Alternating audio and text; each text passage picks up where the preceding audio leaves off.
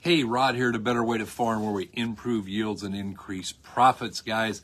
Welcome to day four. Today we're going to talk about magnesium uh, because right after potassium, because they're very closely related. All of these nutrients are interrelated. A one nutrient cure doesn't exist, and I have a great line from a book here that's one of my favorites I'm going to give you as an example. But today's day four, we're going to talk about magnesium. Let's talk first about what does it do. It is a key element in chlorophyll production. It improves the utilization and the mobility of phosphorus. We need that phosphorus to move from the old growth to the new growth. It is an activator of many plant enzymes. It is directly related to grass tetany, as we well know. It can increase the iron utilization in plants. And guys, it can influence the earliness and the uniformity of your maturity. And some of you are sitting there going, man, we got this because we've got really high K levels. That's not necessarily true. We're going to dive in here and, and work on this and see how that might not be totally accurate. The first thing I want to share with you is some uh, some lines out of almost scripture, if you will, out of the the anatomy of life and energy and agriculture, because this particular two pages here, I'm not going to read them all, but some excerpts, because it's really important to embrace these and then wrap our brain around everything else that we're saying and everything else that we're doing. There are several ag practices that seem to look good, especially to someone with tunnel vision. One of these practices is what's best termed as a single nutrient fix. There are many publications with beautiful photographs of various plants with various nutrient deficiencies. Ponder for a moment. Nature is much more complex than this. Deficiency symptoms are the result of a chain reaction of events that the current system does not take into account. And here's the money line. If you have a rust spot on your car that has come through from the underneath, does it correct the problem to say there is a paint deficiency? If we just spray paint over the top, did we fix it? Not even close. You guys who live where we use a lot of road salt know that often the paint can mask that growing problem, but it does not correct it. And herein lies the major flaw of the single nutrient fix philosophy quality. When that nutrient is added to the crop, did the health and the quality or the mineral content improve as well? Or did we just mask the problem? Remember the rule nutrients must be accompanied by phosphate to be properly assimilated by the plant. If there is a phosphate deficiency, there is a deficiency of all other nutrients. We go on and we jump on over here taking a look at this. He spends a lot of time talking about, in relationship to day three, when we were talking about potassium, he says the reason that potash appears to eliminate the, the symptom of a potassium shortage is that muriate of potash or potassium chloride will convert to potassium nitrate, which will then move into the plant. Potassium nitrate carries a great deal of water containing carbon dioxide. This carbon dioxide temporarily supplies enough carbon to partially correct the symptoms. The potassium chloride also creates a localized pH change in which more moly is available because the limited amount of phosphate will grab onto that because it has the least resistance to movement. Also, the pH here uh, shows more correction because the nitrate nitrogen carried in with that potash corrects the rest of the symptoms. Guys, it's important to understand that we can hide one nutrient, and oftentimes that, that nutrient deficiency that we're seeing is actually a nutrient deficiency of something else. He talks about that magnesium deficiencies are oftentimes whitish strips along the veins, and sometimes they'll be purple on the bottom side of the leaf. This is a magnesium deficiency. Technically, what it really is, is a nitrogen toxicity. And magnesium is the antidote by pulling out the nitrogen by forming magnesium nitrate that is then flushed out of the plant. Symptoms may appear, excuse me, symptoms may disappear after that single nutrient fix, yet the cause behind them usually remains. Too much nitrogen will induce a mag deficiency oftentimes. And so we know that these things are interrelated and inter, interrelated. And we also know that we're going to talk, you know, today's on magnesium. We're going to talk about a lot of other nutrients because they all interact together. So every one of these days, all 12 days, you can expect to learn things about a lot of the different nutrients. I want to start now going into the Western book here. And uh, first, I want to read just a little something out to you, and then I want to talk about what the deficiencies look like again. Because, guys, we need, we need, we need, we need to know these deficiencies. And here's something, these are so interrelated, guys, that calcium, magnesium, and sodium, as we know, calcium, magnesium, and sulfur are actually considered secondary micro or secondary nutrients, secondary nutrients. But calcium, magnesium, and sodium are usually considered in the in light of their effect on the physical conditions of the soil. This is important to understand. Magnesium affects soil structure so much. It also affects the plant. The nutrient is important in the plant, but a, a an abundance or too much, an excess, if you will, has detrimental effects. A deficiency in the soil has detrimental effects. And so, what do we want to do? We want to go in here and make sure that we've got these things right. We're going to talk more about these as we do uh, calcium, magnesium in the future. But uh, the ability of irrigated soils to maintain good structure and be permeable to water and good drainage depends on the ratio of these bases. It's very important to know that. If um, calcium gets below 15%, we're going to have major nutritional problems. We also know that if the soil is extremely high in magnesium, number one, we're going to have a calcium deficiency in the plants. And number two, we're going to have really tight soil. And so we want to watch that base saturation and we want to watch it in parts per million to impact that soil structure and impact those uh, plants that are growing out there.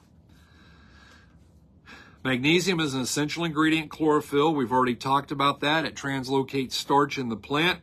It's also pretty, it is considered to be essential for the formation of oils and fats and aids in the translocation and the absorption of phosphorus. Okay, it helps phosphorus to move, but phosphorus carries other nutrients. So therefore, a magnesium deficiency in a plant is going to create an, an artificial deficiency in a lot of other nutrients. Symptoms, this is what we want to grab. Leaves lose their color at the tips and between the veins, starting with the lower leaves and working their way upward. It depends on the degree of deficiency as to how much it shows. Leaves can be abnormally thin. Leaves can be brittle. They can have a tendency to curve upward. Guys, we need to know these deficiencies. You guys know that I am a firm believer in knowing these because when we see yellow, we tend to think nitrogen, and that's not the case. Part of this has to do with does the does the nutrient translocate well in the plant? Magnesium will move into the new growth pretty easily, leaving behind old growth that is deficient. If we go into the field, we're going to do this several times. I really want you to internalize it. If we go into the field and our plant has yellow leaves at the top, no striping, just yellow leaves, that highly likely that is sulfur. If we have just at the bottom, we have yellowing of the leaves, it's in a V and it's working its way down the leaf, that's probably nitrogen. If we are at the top of the plant and we have yellow interveinal striping. That's probably manganese because manganese doesn't move into the new growth very well. And so we have to pay attention to make sure it's available throughout the growing season. If we're at the bottom of the plant and we have interveinal striping, that's probably magnesium. And guys, this can cost you a lot of yield. We've seen, we've known for some time there was some relationships between mag and K in particular. We're going to get into those here in a little bit but we want to make sure that we under, understand that magnesium is important for soil structure and the plant. All of your secondaries are the same way. Calcium, magnesium, sulfur all have to do with soil structure. We know, guys, that that base saturation is critical. We have to pay attention to that. We got to know what is our base saturation of K. What is our base saturation of calcium? What is our base saturation of mag? And what do those need to look like? But then especially in regards to potassium and magnesium, we need to know the relationship in parts per million. Why is that? Well, we figured out some time ago. We'd been studying it and thought we had it, and then we got a chance to dial it in and really confirm it. And we've done that several times since then.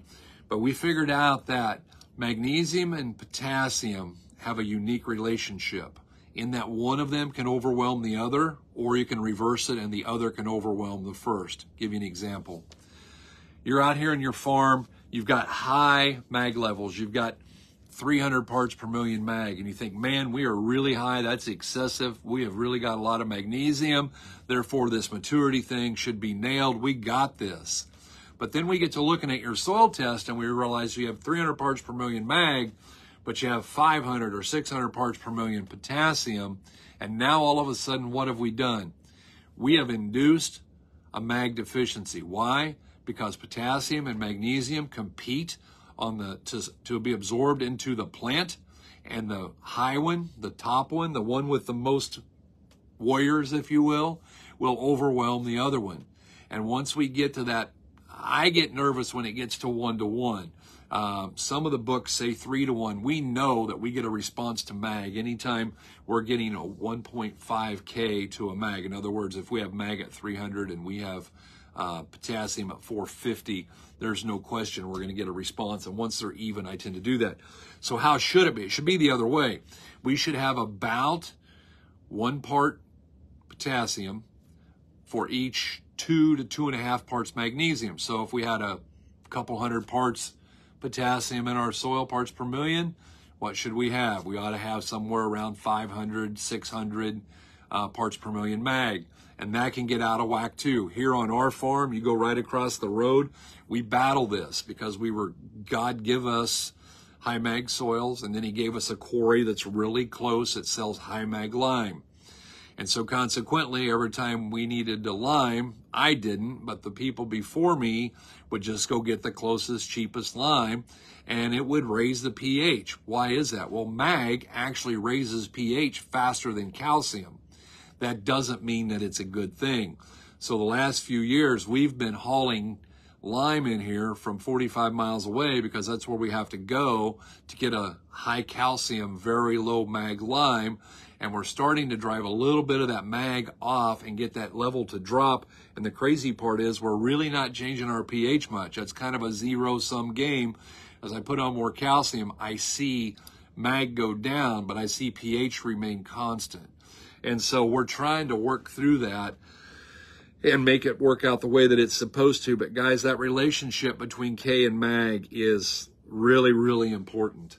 Um, as I look at the fertilizer handbook here and we go to page 95 and they talk about the um, the magnesium because magnesium is a part of the chlorophyll deficiency symptoms often appears yellowing between the veins of your older leaves this is more likely to happen on acid soils under high rainfall however some mag deficiencies are reported on high on soils high in calcium and potassium due to their, their competitive effect on these elements.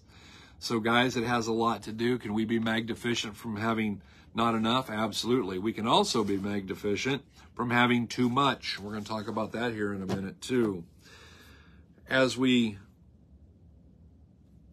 go into um, Schriefer's book here, and we start looking at what he has to say about this from the soil up.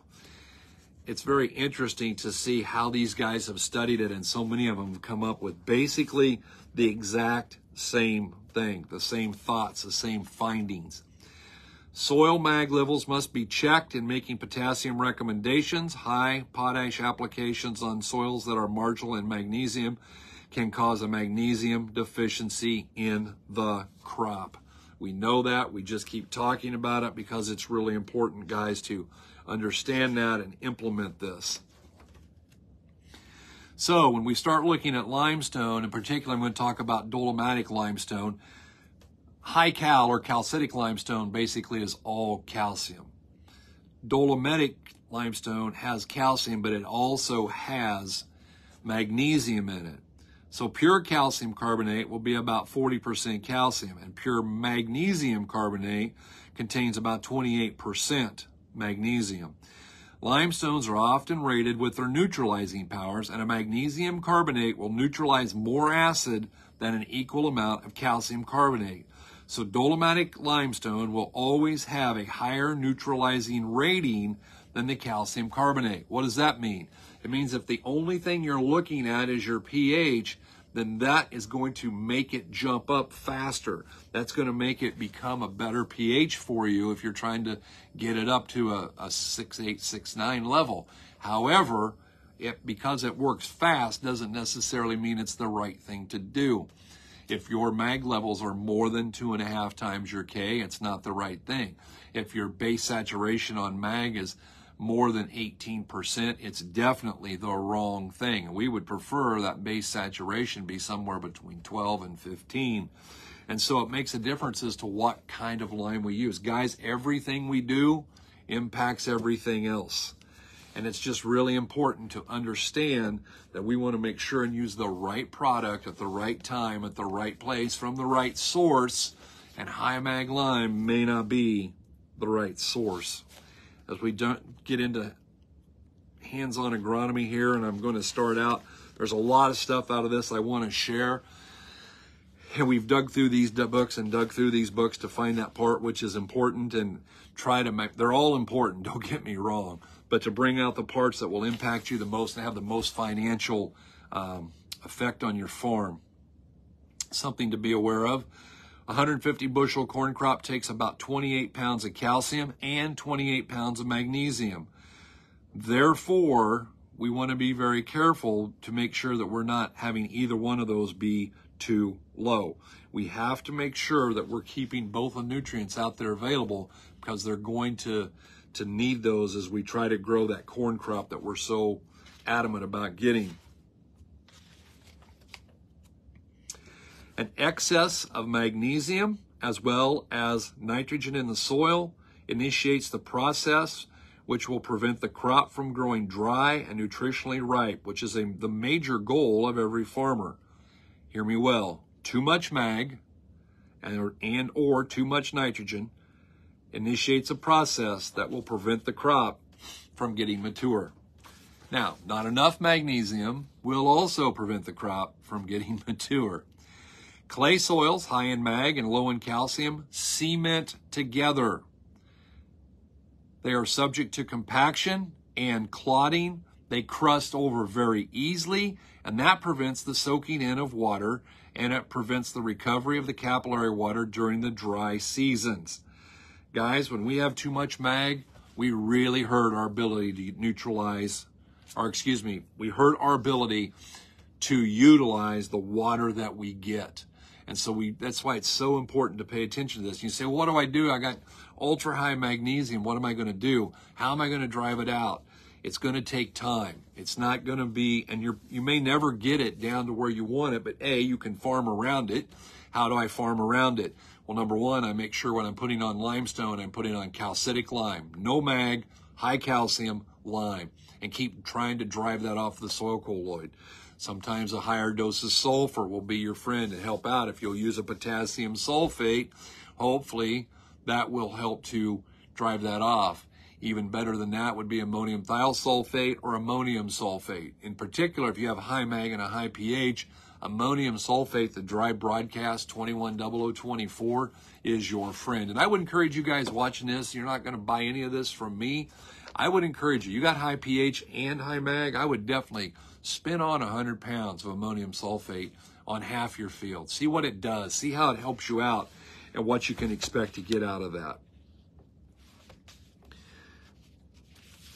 I love the work that these guys have done, and none of this is new. We're seeing new work come in that is is confirming this. We ourselves have done a lot of plots and and done those things. Here was something that I never caught before this year. This is something that is new and it's kind of scary when I think about the ramifications, and it's this high magnesium, excuse me, high magnesium and low calcium permits organic residue to decay into alcohol, and that alcohol becomes a sterilant to the bacteria in your soil. So when we have really high mag and inadequate calcium, as that organic residue decays, it, it turns into an alcohol. And what are we going to do with that? Well, we're going to have it in there and it's going to hurt the life in our soil, which is the last thing that we want to do. We want to have that soil just as healthy as we can, all of the bugs growing that we can find. I had an interesting conversation this week with a doctor. I was, it was a lot of fun to get to know uh, a couple that don't live very far from me and to, and to take a look at some of the things, but talking about the life in the soil and talking about putting bugs in the soil, but maybe rather than introduce a bunch of bugs that we don't know what the long-term ramifications are or even the short-term benefits, maybe what we ought to do is take a look at the things that that make us grow bacteria better. For instance, we know boron grows mycorrhiza. And I think in the next 20 years, you guys have heard me say, we're going to figure out that all of the nutrients are important for the crop, but they're also important for soil structure and they're also important for feeding different bacteria, some of which we probably haven't named yet that haven't been identified. Calcium and magnesium go hand in hand. Magnesium is a constituent of chlorophyll. Chlorophyll and photosynthesis rely on its presence and availability. Magnesium also aids in phosphate metabolism as well as activating the enzyme systems in the plant. Magnesium in conjunction with calcium is the key to air and water in the soil. Magnesium helps hold the soil together and tightens it up. Too much of this wonder element hardens the soil when it's dry. It was interesting because I read somewhere, I didn't write it down and get to the book, but one of these books talked about other uses for magnesium and they talked about concrete and glue. I thought, wow, that, that's kind of interesting. That's not what we want to do uh, with our soils. We do not want to turn them into concrete. We do not want them to glue together. We need some, but we don't want too much. Again, magnesium causes stripes in the vein, in between the veins and often a purplish color on the lower side. Yes, I've said that several times. Why? Because I want you to be able to diagnose it when you see it. When you go, ooh, that's not sulfur. Oh, that's not nitrogen. That's magnesium. I need to get a couple of pints of a chelated magnesium and fix this situation that I have. And I can do it relatively easily and relatively inexpensively. This was an interesting line. Too much magnesium in a soil prevents the plant from getting enough magnesium. Too much mag will keep that plant from doing it. I know that here. When I was a kid in high school, we lost a cow. We had her posted. She looked very healthy. Couldn't figure out why. We went out to grass. It was late April, but it had been a cool, wet spring. Vet came and he said she died of grass tetany, which is a magnesium deficiency. And so we put out high mag blocks and didn't lose any more cows. Our mag levels are through the roof here. But what happens when it's cool and it's damp out? The mag making the soil so tight actually makes the mag unavailable. And so in the spring, when we go to grass, we have to feed high mag blocks if we're going to go very early. And so we want to make sure that we're taking care of that. But again, the fact that you have high mag does not mean you have even adequate mag in your crops. That's why the tissue testing is so important. You can take those tissue tests and determine if there's a hidden hunger and determine if you need to apply some more magnesium in order to get the yield response that you want.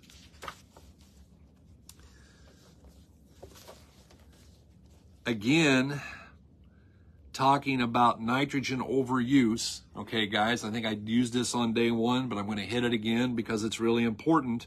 Nitrogen drives out calcium. When the soil is open and nitrates leach out and go with the water, it is never a solo journey. It always takes a passenger every single time. If there's a cache of sodium, nitrogen may take out sodium. Otherwise, it takes out calcium. Nitrogen never, ever takes out magnesium. But as it leaches downward, you can assure the passenger status of calcium is number one.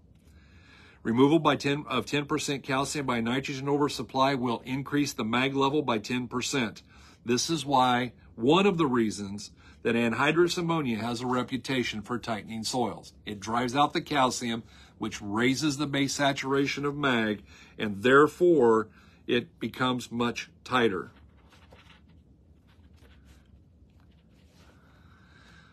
There's a Midwest theory that potassium gets around in water and gets trapped in the colloids. It can't get loose until something is done to change the chemistry. in that form in its form it is unavailable because the soil colloid has trapped it. Perhaps that is why whenever magnesium gets higher and higher and the soil gets tighter and tighter, potassium availability gets lower and lower. This is a vicious cycle. As we put on too much potassium chloride, we tighten down the soil. We tighten down the soil. Calcium is more prone to leave than magnesium. And all of a sudden, if we can bring that level down, the soil will loosen up. And what happens? We have more available potassium that is in between those soil particles that can get moved out. So getting the potassium out of the plant is dependent upon getting the magnesium out of the soil.